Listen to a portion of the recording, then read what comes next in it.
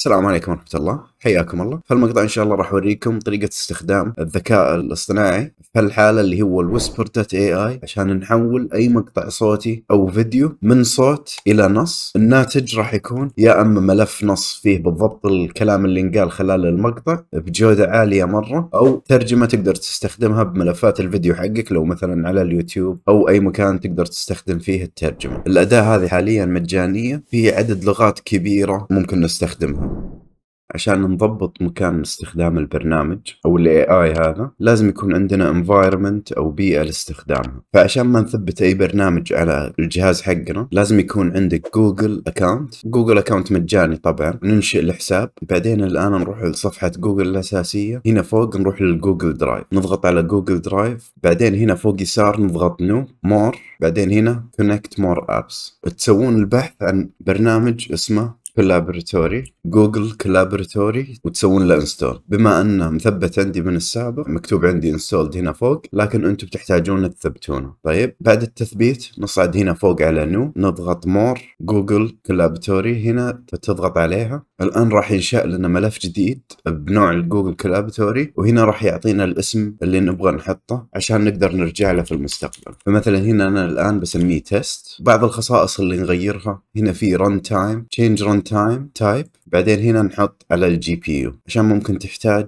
إذا ملفاتك حجمها كبير مرة ال GPU راح يساعدك. okay؟ بعدين نضغط save والآن عشان نثبت ال Whisper AI راح أعطيكم الكود في الوصف تحت أو بإمكانكم تروحون تجيبونه بنفسكم من موقع Whisper AI الرسمي اللي أيضا راح أحط له رابط في الوصف تحت. طيب اللي هي هذول السطرين عشان يسوي لها install من ال Whisper dot git لا يخوفكم شكل الكود لأن كل شيء بيكون جاهز إن شاء الله. فبس أنتم أغلب اللي بتسوونه نسخ ولصق. بعد ما نسوي لصق هنا نضغط على علامة ال run ونستنى شوي راح يسوي تثبيت لل Whisper dot AI أغلب الأحيان بياخذ مثلا 30 ثانية إلى دقيقة يسوي تثبيت لها. بعدين هنا تضغطون على plus code والآن إذا تبون تشوفون كل الخصائص اللي موجودة في ال Whisper يا إما تروحون الصفحة الرئيسية على ال GitHub أو هنا تكتبون Whisper slash h بعدين تضغطون على ال run راح يوريكم جميع الخصائص الموجودة في ال Whisper اللي تقدرون تعدلونها زي ما تبغون أنتم طيب؟ فمثلا هنا عندكم اللغات الموجودة الخصائص المختلفة اللي تقدرون تستخدمونها وتقدرون تمشون عليها واحدة واحدة. لكن بما أن أنا أبغى أبسط شيء الآن فعندي مقطع صوتي على سطح المكتب أبغى أحوله من صوت إلى نص. هنا لو تشوفون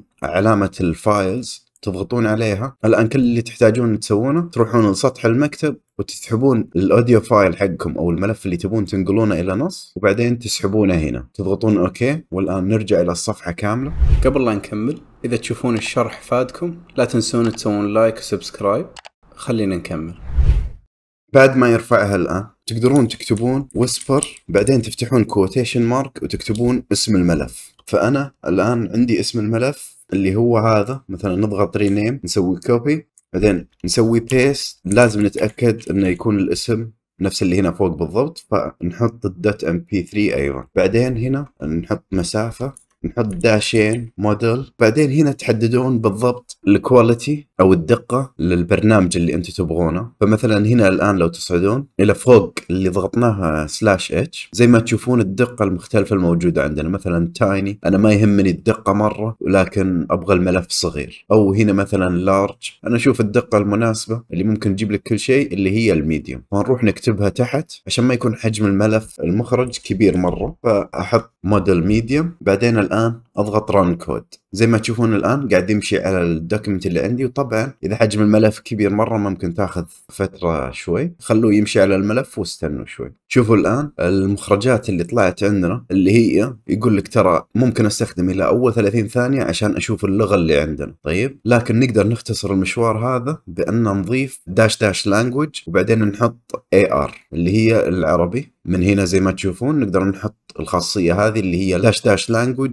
ar عشان من الأخير نختصرها ان هذه باللغة العربية. بعدين الآن يوم مشى على النص قال شوف أول ثانيتين قلت السلام عليكم وإلى آخره. هذه تراجعونها. والآن لما خلصنا زي ما تشوفون أعطانا مخرجات هنا على اليسار. أنا العادة ما أنزل إلا نوعين اللي هي ال dot SRT وال dot text. ال dot SRT لو نسوي لها الآن download وال dot text أيضا download عشان نحتفظ فيها ونستخدمها في المستقبل. ال dot SRT نقدر نستخدمها للترجمة في أي مكان. على اليوتيوب لو ترفع الملف هذا راح يمشي على المقطع حقك والدقة تكون ممتازة لكن أيضا تحتاج تراجع احتياط. لو في كلمة انسمعت غلط وإلى آخره هذه تكون من هنا. وال dot text أيضا زي ما تشوفون لو تفتحون ال dot text راح يعطيكم text file فيه جميع الكلام اللي انقال خلال المقطع هذا. وزي ما قلت طبعا بهالأشياء دائما أفضل شيء إنكم تمشون عليها تتأكدون أن جميع الكلام انكتب صح وهذا كان بالنسبة لل Whisper dot AI. يعطيكم العافية على المشاهدة. لا تنسون تسوون like و subscribe. وهذه بعض الشروح اللي ممكن تنفعكم.